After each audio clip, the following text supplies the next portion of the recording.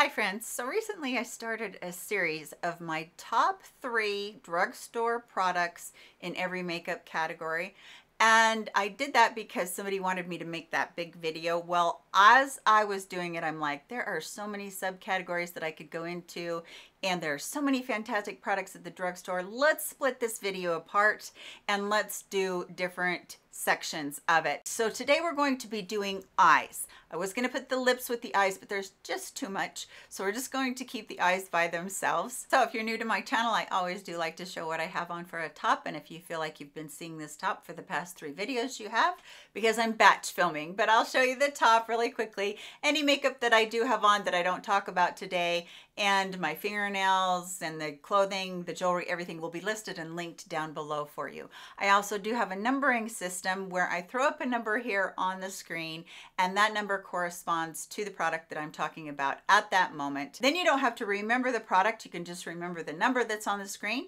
You can go down in the description box and find your number. Next to it will be the product, the color, and the link, and you can shop that way if you would like to. Some people find that this is a little bit easier than having to remember each individual product. I do also make sure that I put all of the links down in the first pinned comment below this video so that that's easier for you as well if you can't get to the description box. And one last thing, if you're new to my channel, hi, my name is Melissa and I am 56 years old and I love all things beauty, fashion, and lifestyle. And if that interests you, you're in the right place. Besides that, I have a fantastic community of very supportive women, and I hope that you do decide to subscribe, like, and hit the bell icon so that you can be notified of any future videos that I might be having come out. So that all being said, let's talk about my top three favorite eye products at the drugstore that are very affordable. Let's do that right now. Let's talk about prepping your eyes. I have three eye primers that I feel like are really good for different reasons. I feel like my favorite of all of these and the one that I use daily for a couple reasons one is because of discoloration. The other one is because holding on the eyeshadow. And that is from Jason Wu. Let's turn that around. From Jason Wu. This is his eye primer and it is in light and it does have an opacity to it. So when I put it on my eyes, it smooths across my eyes and I find that it takes out any discoloration and then it just really brightens any sort of eyeshadow that I'm going to put on top of it. And remember, a tiny, tiny bit of these goes a long way. The second one that I want to talk about is the Milani. This is a gold standard for a lot of people. Now this isn't going to take out the discoloration if you do have a lot of discoloration on your eyelids like I do. This one will brighten your eyeshadow and keep your eyeshadow on. This is a lot of people's very, very favorite that they use every day. The third one is from NYX and this is a glitter eyeshadow primer. So if you have a special occasion when you want your metallics or you are going to wear glitter on your eyelids, you can just dab a little bit of this on and this is really good for keeping that on and you won't get any fallout from any glitter or any metallic sparklies that you are wearing for that day. So those are three fantastic ones. And we'll talk kind of quickly about single eyeshadows. Today on my eyelid, I'm using this Revlon one. This is one that has been around forever and this is the Color Stay Cream Eyeshadow. This one is in Black Currant. I don't know why they call it Black Currant. It's anything but black. It's a super beautiful metallic looking kind of a, oh, I would say it's almost a lilac or lavender color. It's that cross between the silver and the purple. It's so pretty. And I love wearing this on my eyelids because it is no budge. It stays there all day long. It's a really gorgeous one and you're gonna have that pop forever. And then Moira, I actually, my next two single eyeshadows are from Moira. Moira is one of those companies that I think is so underrated. Oh my goodness, I feel like it just, it's a really high-end company that people just don't think about when they think about drugstore. And that's because you have to order it online. You can't just walk into a Walmart or CVS and just buy it. I wanted to show you this one because I feel like this one is so much like, I think it's called Mesmerize from Charlotte Tilbury, those ones. Those are really good shadows and they perform so well, but these ones perform every bit as good at a fraction of the cost. This is kind of just a brownish, very soft, doesn't really have metallic. I would say it's more of a satin, satin shimmer. Ooh, almost swore. Satin shimmer in there. So these are beautiful. This comes in a bunch of colors. I think this would be a gorgeous one and done as well. And then Moira has these little singles too. These ones, I would, I feel like these ones rival the Urban Decay ones everybody talks about. These are more like toppers, and this one is the most pretty topper. You can see right there, it looks kind of silvery, but when you put it on, I don't want to get on top of that other one. When you put it on, you can see that it's just a topper. It's not really one that would deposit a lot of color. It doesn't deposit a lot of color. It just deposits that beautiful shimmer and gives your eyes just this mesmerizing look to them. So definitely reminds me of the Urban Decay ones. I just, I think they're so, so pretty. So those are the single shadows. And then when you're talking about stick shadows, I really don't have a favorite at the drugstore. This is where you guys can weigh in for me. If there are really good ones that are no budge stick shadows at the drugstore, I would love to know that. Now, I'm not talking about eyeliner. I'm talking about the actual shadows. Okay, going on to eye palettes, eyeshadow palettes.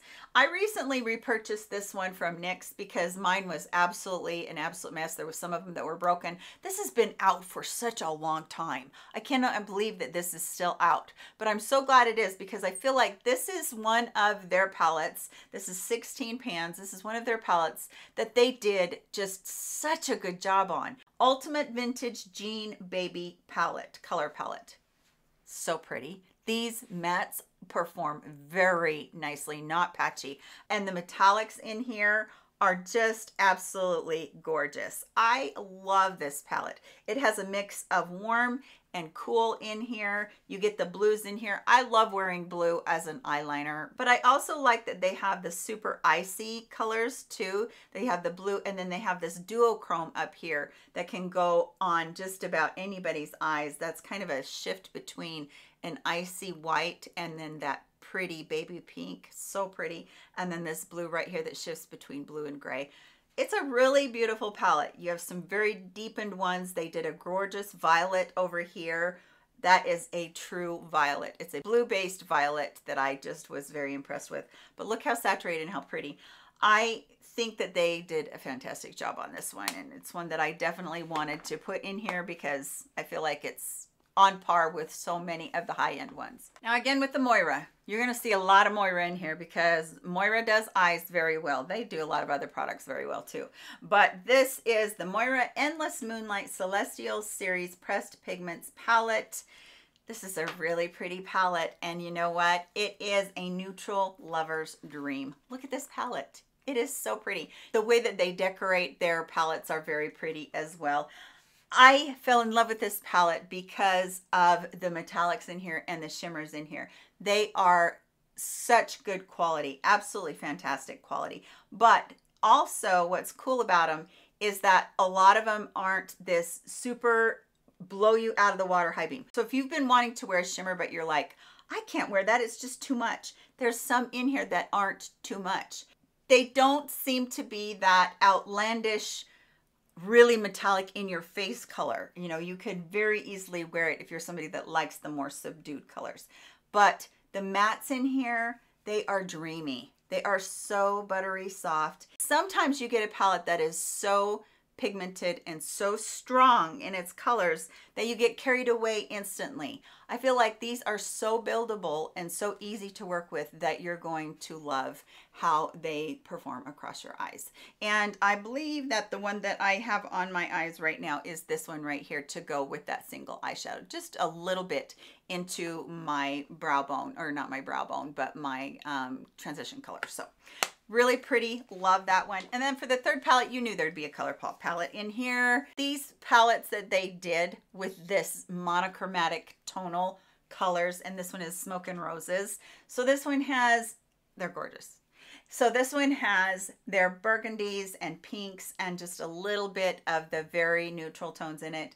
You guys know how I feel about ColourPop. I feel like they can do no wrong where their eyeshadows are concerned. They truly should be in a high-end shop. I just, I absolutely love, love, love their metallics. They are so pretty and they can be built up or you can wear them a little bit lighter, but they are just knock it out of the park pretty metallic colors. And then when you start to get into their matte colors, again, that butteriness and how pretty they blend across your eyes, they're just, they do an incredible job. On their palettes. When ColourPop did these, they knew what they were doing. And I'm telling you, you will not be disappointed. And you're probably thinking, I can't wear pinks. Well, there are a lot of peaches in here. You cannot go wrong with these. They are so beautiful. All right, I'm going to talk about brows right here just to kind of break up the eyeliner type situation. I love a good micro brow and NYX micro brow has been my favorite forever. It's teeny tiny and I do love it and I, it has the perfect color for me which is an ash brown and it's very easy for me to work with. But I also do like the Wet and Wild one that is their micro brow as well. Let me see this is, is called micro brow pencil just like the other one is called spoolie on the other end with both well all three of these products. But that tiny tiny little micro pencil is so easy for me to work with. And the reason that I like this Wet n Wild one is it's got a little bit more of a grayish tone to it. And that works really well for me with my ashy undertone on my hair. But recently discovered this one that I put into several videos and it is the NYX Powder Louder one. And what I really like about this when I'm in a really big hurry is that the tip of it is a little bit bigger, but it does act like a powder. So it's really easy for me to really quickly just put a little bit of, you know, pencil in there that feels like a powder put a little bit of setting gel in there and good to go because it's just creamy and it works really well and it works really fast. So I don't normally enjoy having a bigger pencil, but I do enjoy having that. I just keep it sharpened and it works super, super well for me. And again, in ash brown for that one. Now, as far as gels, I have three that I feel like I interchange equally. Depending on which one of those pencils I use, I will use the Brow Laminate from L'Oreal. This is a super sticky, just no, I shouldn't say sticky. It's a super stick on brow gel that you are just going to absolutely love. If you want your brows to stay in place and you don't want those brows to go anywhere all day, this is going to be for you. Tiny little spoolie on there, but the other two are tinted and it's the e.l.f. Wow Brow. Been wearing this for so many years. This one has fibers in it that will build a very sparse brow. So you have a few hairs, but you don't have enough. This one's going to do the job and deposit some fibers in there very very good product. And then the make me brow from essence. This one is just a really good one if you have like gray hair in your eyebrows that you need to color and you can't seem to do that with the brow pencil. This one's really good. Tiny spoolie again this is going to hold your brows in place as well really love that one too. This is a side note for eyes, but it kind of goes along with what I'm about to tell you about one of the eyeliners that I'm going to suggest. This is an e.l.f. Duochrome eyeshadow single, but I want to show you how incredibly beautiful this duochrome is. Let's see if we can get it on a place where we can really shift it and, and look at it. This looks very blue in the tube. Hopefully you'll be able to see that. But as you're working with it, it shifts from blue to purple to a little bit of iridescent green. So maybe you'll be able to see that on camera, maybe not. But wow, it is so gorgeous in how it shifts. I'm even in my mirror, I'm even seeing, seeing a tiny bit of brown, but it does pick up the blue more than anything, the bluish purple. So I wanted to share this. I'm not sharing any other of these liquid single eyeshadows like that, but I definitely wanted to put that in here as an honorable mention. Now, as far as eyeliners go, Moira has a duochrome eyeliner that is incredible. And the this is a no budge liner. So maybe you're somebody that just loves that duochrome look. Maybe you're somebody that wants this for a special occasion. This is incredibly pretty. Again, we're talking, the, see the purple first, and then I've got the blue in there as well as it shifts. So these are budge proof and that's what I did with all of these liners is I'm bringing them to you and they are budge proof liners. That's why I chose them. Now you will have a little bit of time to work with them but just know that they are that no budge. I wanted to show you these julep ones. Now this is a little bit more expensive. You can get these on sale. It's a little bit more expensive than the drugstore price, but not by much. And the reason that I wanted to show you this is because, again, super no budge. Absolutely put it in your waterline and you're gonna love it in your waterline. But I love this particular color, which I think is called ocean blue or sapphire blue. And such a pretty, pretty color. And once it dries down, it is there. It is no budge. It is so good. Now that one is a one that you have to sharpen. The Moira is a mechanical one.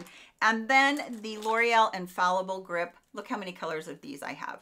I have almost all the colors of these. So I have a navy, uh, cream colored one that can go in your eye, the rim of your eye in order to brighten your the whites of your eyes. I have a green one, I have a gray one, I have a brown one. The brown one I use almost every day up in my waterline on the top because I don't like to do liner across the top. Super duper silky formula like you would not believe. But the instant that these dry down, again, you are not going to have them budge and go anywhere. No, you know, no smudging down your eye or anything like that. These are incredible. They're so, so good. On the other side, you do have a little smudger that you can work with. And these are super e easy to smudge, but you know, take a minute and maybe work with one eye and smudge them out because once they're set, they're set and you're going to have them. But I don't have a black in here, but I do have this beautiful graphite looking one or this um, kind of a grayish graphite one. So pretty that I substitute for the black one because I just don't wear black eyeliner anymore. They're really nice and I think you will really love them. If you're someone that really enjoys having a liquid liner, I have the Infallible Grip liquid liners from L'Oreal as well. They are great too. They have a super fine tip that you can work with if you like to do a wing. I can't do a wing to save my life, but these will be on all day long as well. Super long wearing. And then my second choice for that would have to be the Physicians formula. I have that in brown and I have it in the black. And this particular black one is their super duper slim tip. You can get that in the regular tip and then the, this really fine one. And boy, does that do a super fine line. And once again, they are very, very waterproof. Those are so good. And then the last one that I wanted to put in here was the Maybelline. This is the Tattoo Studio, I do believe. Let me get this look.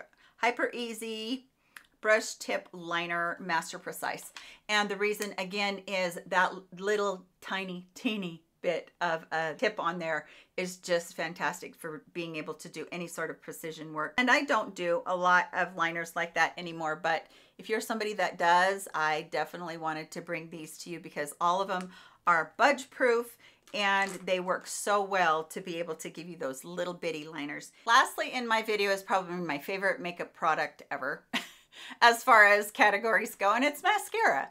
I adore mascara because I think that no other product can make your eyes pop like a mascara can. If you go without mascara, if I accidentally do, I get this, are you not feeling good today? Are you are you sick today? Don't you feel anyway, I love mascara. It's one of my favorite things. So the e.l.f. Lash and Roll, this helps hold my eyelashes up after I've curled them. No, it doesn't curl them on its own. I don't feel like it does anyway. But I like the wand on it. It's a little bit bended, but not too much. I also like that it's a little bit shorter. So I can go in there and I can really get into the base of my lashes. And I also like that the tines on this, even though it is a plastic bristle brush or a silicone, it they're a little bit closer together. So this does give great volume, but it gives great length, but it gives the best curl, holds the best curl. I really like that one. And then L'Oreal came out with their Panorama Mascara. And I really fell in love with this really quickly. This one has a very unique brush on it. It is kind of like an evergreen Christmas tree type thing on there. But what I like about this is it seems to grab the lashes as I'm working with them. And what I do is I'm going to show you my last mascara here in a second. But I use this after I've used one with a natural bristle brush. This one again is a silicone bristle brush. And this just gives the greatest length. Now it will give you some volume if you just want to use it on its own, but it gives fantastic length. So if you have really good voluminous lashes already, but you don't have very long ones, you might really like this one. But my number one mascara that I've tried for years and years is the Maybelline Falsies Lash Lift Mascara. This is not a silicone bristle brush. It's more of a natural bristle brush in an hourglass shape. And this one will do volume like no other mascara. It just does great volume. And I do find that this particular mascara, it does feel like it's initially clumpy, but what happens is I think it's because it doesn't get warmed up. I live somewhere where in the summertime we keep it cold and in the wintertime it's cold anyway. And so I find that it might come out occasionally with clumps on the brush itself. All I do is warm this up. And I'm either going to keep it in my armpit and let it warm up while I'm doing the rest of my makeup, or I'm going to run it underneath some hot water while it's closed and then go ahead and, you know, use it. And it is silky glide and just separates every lash. It is so good. It is what I do have on today besides what I just did when I was demonstrating that for you. But this is so good. So I will actually use this mascara with the Natural Bristle Brush, and then I'll go in with either one of these. They actually all do a really good job of all of those things, but I'm just somebody that gets where I like using mascaras together. I, I do that with all my makeup. I mix and I match and I do kind of chemistry type thing. I wish I, you know, could come up with the perfect thing and had my own company, but I don't. So let's mix and match. But I really love all three of these and I think that you will love them as well, especially if you haven't tried them before. So that is it for today's video as far as our second installment in the top three products in each category volume eyes. So definitely wanted to bring that to you. I hope that you're all doing well. If you know of any eye products the drugstore that you think are outstanding, I would love to hear that from you as well. Please tell us that down in the comments section. You guys give me the best suggestions. I absolutely love your suggestions. So that's everything. Take care of yourselves. I love you to pieces and I will see you in my next video. Goodbye, my friends.